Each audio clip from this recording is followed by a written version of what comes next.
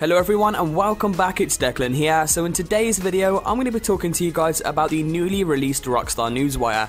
Now it's actually regarding the trailer for the next gen versions of GTA 5. If you guys want to check out that trailer, you can do so in the top right corner of the screen or down in the description down below. Now this Rockstar Newswire talks about a bunch of new features that are going to be coming to the next gen versions of GTA 5. One of them is going to be absolutely awesome. That is actually for the PC version. You guys are really going to enjoy that feature and so am I. So make sure you watch to the very end. Also, I'm going to be doing another video in around 3 to 4 hours after this one. It's actually regarding the new DLC weapons for the Hipster DLC. I believe we may have some images for these, so make sure if you're interested in that to come back to my channel in around 3 to 4 hours for that video. And without further ado guys, if you do go on to enjoy the video, all that I ask is that you leave a like down below, maybe share it with your friends as it really does help me out and it helps my channel. And without further ado, let's jump straight into this. So I'm going to start this off by linking the news wire down in the description below. So for anybody out there who actually wants to read this for yourselves, you can do so by going into the description and clicking on the link. But basically the newswire does state, and I'm going to read the whole thing here guys, it says, Today we are proud to announce that the critically acclaimed and record-breaking Grand Theft Auto V is coming this fall to PlayStation 4, Xbox One and PC. There's some great news straight away guys. I know most of you have probably already heard that.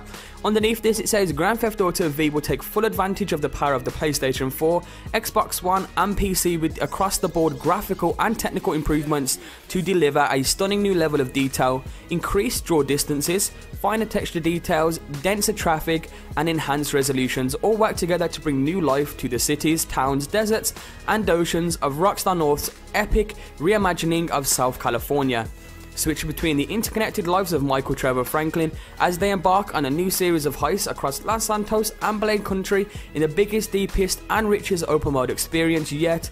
With the game enhancements that include new wildlife, upgraded weather and damage effects, and an array of new details to discover. Now, that right there, guys, new details to discover. I wonder what they mean by that. Maybe they mean just there's new level of enhancements in the graphical gameplay. Maybe they could mean new Easter eggs. Who knows what they mean by that. Anyway, moving back on, the new generation upgrades also extend to Grand Theft Auto Online, an ever evolving Grand Theft Auto universe rise through the criminal ranks by banding together to complete jobs for cash, purchase properties, vehicles, and character upgrades, compete in traditional competitive modes, or create your own content to play and share with the Grand Theft Auto community. So that is basically stating that as soon as these next gen versions come out, GTA 5 Online is straight away ready. There's no delay, there's no nothing. GTA 5 Online is going to be ready to play, which is awesome.